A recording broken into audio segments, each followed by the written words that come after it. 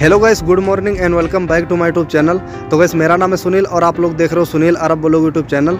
तो गाइस, इस वीडियो में हम आपको दिखाने वाले हैं देवा शरीफ का मेला। दोस्तों, ये उत्तर प्रदेश बाराबंकी ज़िले में पड़ता है, जो यहाँ का बहुत ही मशहूर मेला यहाँ का माना जाता है।